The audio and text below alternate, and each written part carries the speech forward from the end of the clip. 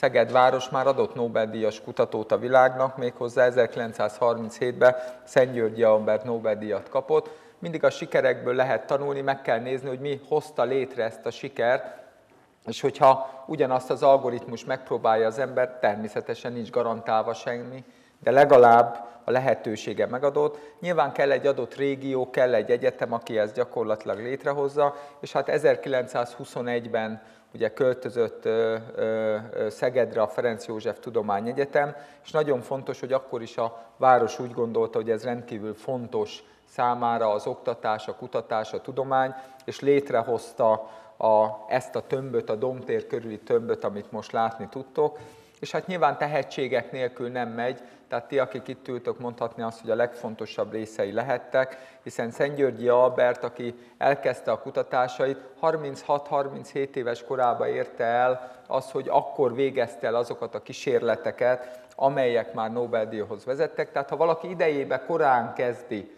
a tudományjal való foglalkozást, akkor bizony egy 20 év alatt, olyan 36 éves korára igenis már egy nemzetközileg elismert kutató tud lenni.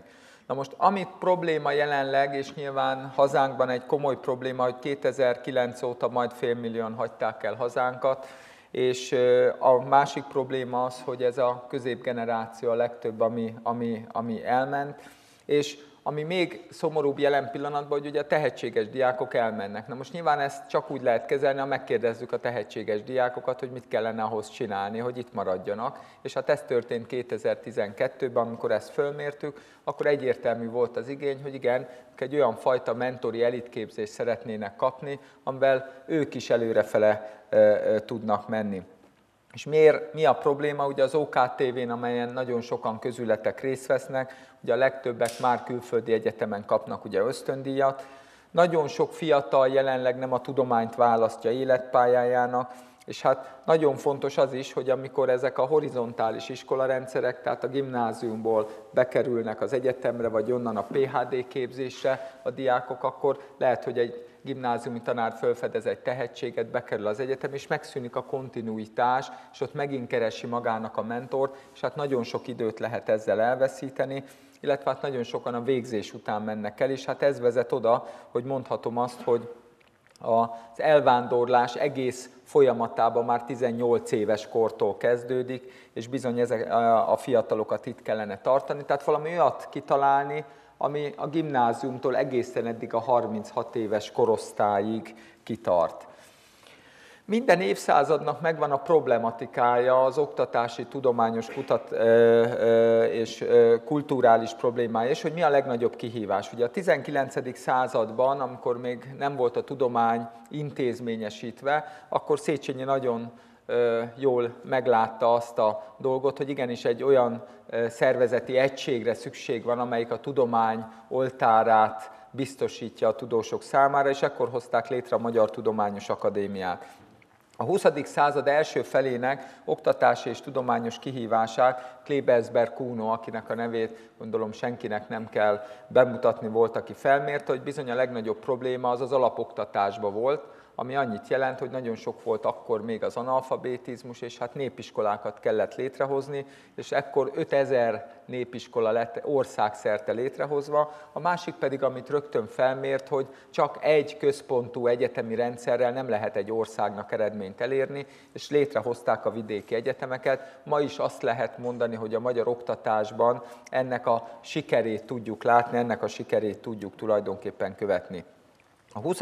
század második felében azonban megváltozott ez a rendszer, hiszen e, a, a, a bolonyai rendszer, ami egy nagyon fontos rendszer az oktatásnak, emellett viszont az elit diákoknak megváltozott a helyzetük, hiszen egészen addig, amíg 1900 az 90-es évekig mondjuk közel 90 ezer egyetemista volt Magyarországon, ez fél millióra növekedett, ami annyit jelent, hogy ugyan az egyetemi oktatás elérhetővé vált sokkal több diáknak, ami egy nagyon jó hír korábban, azonban annak a szűk csoportnak, akik elitképzést akartak, ez hátrányosan érintette őket, hiszen nyilván nem csak a diákok, az oktatógárdák is azzal, hogy ötszörösére nőttek, nyilván a minőség mindenfajta mennyiségi növekedésnél csökkenni tud. Azaz, kikerült a rendszerből az úgynevezett elitképzés, és ha ma megnézzük a 21. századot, megnézzük a, a különböző európai grenteket, az, a, az amerikai grenteket és a tudomány fejlődését, ma azt lehet mondani, hogy ami óriási kihívás, hogy elit tehetséggondozás legyen, hiszen ma ahhoz, hogy valaki kiváló legyen és a tudományba tudjon alkotni, ahhoz a legjobbaknak kell, hogy legyenek. Ugye mi a probléma a mai rendszerben? A probléma a horizontális rendszerben, hogy ugyan egy adott korosztályt lefedve lehet oktatni, azonban ha az egyén végig akar menni a rendszerbe, akkor egy tehetséges embernek, mivel nincs kapcsolat, igazi komolyabb kapcsolata a rendszerek között nehezen tud átmenni. Amit mi megcéloztunk ennek a programnak a kitalálói, hogy csináljunk egy olyan rendszert, amiben mindenkit bevonunk, aki ebbe a rendszerbe van, összejövünk, és már a fiatalok itt el tudják kezdeni azt a munkájukat, amivel előrefele tudnak menni, és lényegesen nagyobb előnyre tudnak szertenni, vagy lényegesen több tudásra, hogyha ebben a rendszerben végigmennek. Mi a célja ennek nagyon egyszerű, a legtehetségesebb gimnáziumi diákok számára egy olyan elit iskolarendszer megteremtését, mely 16 éves kortól 20 éven keresztül biztosítja a, minőségi képzést, és nagyon fontos azt megemlíteni, hogy ebben a rendszerben már az egyetemi képzéstől ösztöndíjat biztosítunk a diákok számára, ami szintén egy egzisztenciális megbecsülést is jelent. Igaz, hogy nem sok ha úgy veszem 50 ezer forint egy egyetemista számára, de abba gondolok ki, hogy ez azért egy komolyabb összeget jelent ahhoz, hogy ne kelljen esetleg a pénzkeresésre összpontosítani az erejét. Mindig nagyon fontos nem csak a magyar példákat, külföldi példákat is megnézni. Ugye megnézzük Szeged, ugye 160-180 ezres város, hát nézzük meg, hogy csinálják ma a legjobban professzionális szinten ezt, és hát alsó száz országban már elkezdték például olyan programokat Göttingenben már korábban, ahol a 16 éveseket oda vonzották, hogy csináltak egy olyan laborkomplexumot, ami egyébként most már Szegeden is van, a köz, ahol kifejezetten a középiskolás diákok számára van a program, nekik már kialakult egy kollégium is, ahol ott tudnak lakni. A Göttingeni Egyetem, illetve a Max Planck kutatóközpont az, amelyik ott van, és hát ha belegondolok abba, hogy az elmúlt évszázadban, a 20. században ennek a 160 ezer fős városnak 40 Nobel-díjas kutatója volt. 40 Nobel-díjat kapta. Hogy ez most szerencse kérdése, vagy bal szerencse kérdése, hogy 60 lett volna jogos, vagy 20, azt nem tudom, de az biztos, hogy amit ott csinálnak, az professzionális, és hogyha azt a rendszert megpróbáljuk Magyarországon is bevezetni, implementálni, akkor nekünk is van lehetőségünk, és lehet, hogy nem is akár egy Nobel-díjas kutatóra, hanem többre. Például, tipikus példa 2014-ben Stefan Hell kapta a Nobel-díjat, aki aradi születésű, fölvetődhet a kérdés, hogy vajon tényleg el kell ahhoz menni föltétlen Nyugat-Európába vagy Amerikába, hogy az ember Nobel-díjat tudjon kapni, vagy esetleg mi is bízunk magunkban annyira, hogy ki lehet alakítani egy olyan rendszer, ami, ami kialakuljon. És hát 2012-ben, amikor 9 Nobel-díjas kutató jött Szegedre, akkor vetődött fel ez, hogy esetleg itt is folytassunk egy programot, és hát vannak közületek sokan, akik 2012 óta részt vesznek a programba, 2013-ban, 2014-ben is volt Nobel-díjas Szegeden is idén. Az a rendkívül esemény volt, ami azért a korábbi évekre nem volt jellemző, hogy nem csak egy alkalom volt, hanem immáron Szegeden júniusban Ervin Néher és Éva Néher látogatott Szegedre. Szeptember 1-én az évet Tim hunt nyitottuk, és a mai napon délben hallhattátok Erik Wieshaus előadását. Tehát tényleg manapság, aki Szegedre jön, nem lehet biztos benne, hogyha a Kárász utcán sétál,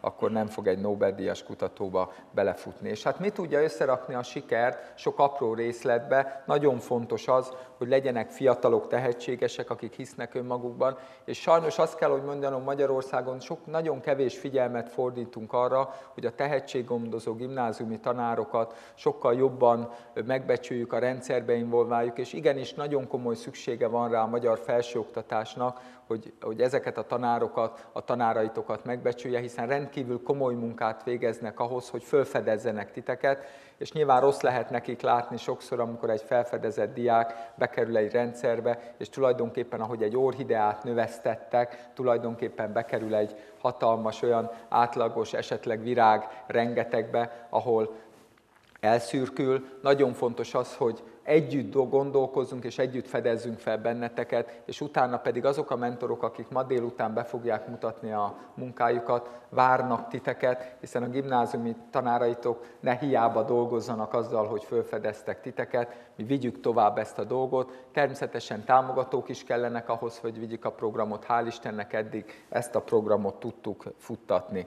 Ha fölléptek a weboldalra, rengeteg információ van fönt rajta, a programról is a leírás, és hát benne találhatók azok a tanárok, mentorok, diákok, akik a programban vannak, és hát miért ne lehetne megcsinálni ezt a programot akár Csongrád megyébe, Délalföldön is, ami alsó Szászországban van. Jelenleg ugye a régi nevén Ságvárinak hívott ma a Szegedi Tudományegyetem gimnáziumba is, a Radnótiba gimnáziumba is, a Vásárhelyi Német László gimnáziumba is már kialakultak kutató helyek, laborkomplexumok, ahol mehetnek a kísérletek. Kollégium az nagyon szükséges lenne, az egyetem és az SBK révén megvannak a kutatóközpontok, és úgy gondoljuk, hogy ha ehhez majd kormányzati segítség is fog társulni, és ez a szint intézményes szintre keveredik, akkor meggyőződésem, hogy a 21. században megint lehet komolyabb magyar siker. Az alapítvány kuratóriumát elsősorban azok a mentorok alkotják, akik jelenleg az orvostudományi karon és a biológiai kutatóközpontban van, azonban olyan népszerű személyek is, például a Krizsó Szilvia is elfogadta a meghívást a kuratóriumba. Jelenleg közel 100 mentor van a rendszerbe, közel 30-35 mentor van Szegeden, akik várnak titeket, és hát hozzájuk kapcsolódnak azok a külföldi mentorok, akikhez mehettek. Például ma is hallhattátok Sahintót Miklós előadását, ő is például köztük van a, a nemzetközi mentoroknak, és már az egyetemről már például a nyári időszakban fogadja a diákokat a laboratóriumba. A mentorok közülük páran be fognak mutatkozni, ott, lesznek a, ott vannak a leíratai a, a, a mentoroknak a füzetekben, és hát ők nagy szeretettel várják a tehetséges diákokat, hogy vigyék tovább azt a munkát, amit a tanárok biztosítottak számára. Egyébként, ha megkérdezzük a Nobel-díjasokat is, hogy mi a legfontosabb, mit emelnének ki a pályafutásuk során, akkor például 2014-ben tavaly Randy Szekmen, akinek föltette ezt az újságíró a kérdés, hogy, hogy mit tudna adni egy tinédzser számára a karrier perspektívát a tudományban, hogy mi a legfontosabb ebben a kérdésben, és egy, egyértelműen az volt a válasza, hogy egy korai időszakban egy jó mentor gyakorlatilag az a legfontosabb, és majdnem minden Nobel-díjas kutató meg tudta nevezni azt vagy azt a néhány mentorát, aki az ő pályája során elővitte. Amit említettem a, a kiemelkedő tudományos utánpótlás nevelő biológiai tanárokról, nagyon hisszük azt, hogy nagy szükség van az ő csapatba kovácsolására, és hát tényleg amilyen munkát végeznek, az adja azt az alapot, amivel mi tudunk dolgozni. A cél az, hogy a Szentgyörgyi ifjúk, akik tik vagy, ti vagytok, beválogassuk a rendszerbe a gimnazistákat, és utána, akik bekerülnek az egyetemre, végigmenjenek a rendszeren, és kiváló kutatókká, majd később nyilván a programba tanárokkal váljanak. Hogyha az erőinket összetesszük, akkor úgy gondolom, hogy sikerre lehet jutni, és nem csak külföldön lehet eredményt elérni, hanem itthon is. Mi ezért dolgozunk.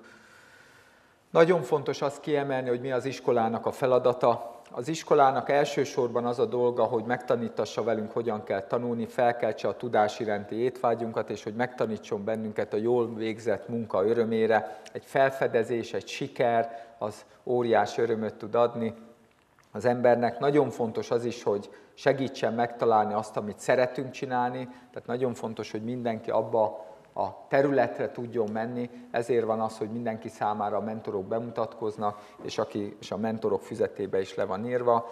Úgy gondoljuk, hogy ez az iskolarendszer egy alapját szolgálhat akár Magyarországon, több helyen kialakulni ennek az iskolarendszernek, hiszen úgy gondoljuk, hogy a, a, a növényeket, az orhideákat, ha megfelelően megbecsüljük, hasonlóképpen föl tudnak nőni, és ugyanez vonatkozik nagyon fontos a tehetséges diákoknak a, a kiemelt figyelmet biztosítani, és mi ezért jöttünk, és ezért fogtunk össze a gimnáziumi tanáraitokkal, hogy nektek nagyon komoly lehetőségetek legyen, hogy nemzetközi szinten is versenyképes tudósokká, kutatókká, kíváncsi emberekké váljatok. Úgyhogy köszönöm a figyelmet, és át is adom a szót a mai üléselnöknek, Kemény Lajos professzor úrnak, aki amellett, hogy a kuratóriumnak a tagja, a Szegedi Tudományegyetem tudományos rektor helyettese. Köszönöm a figyelmet!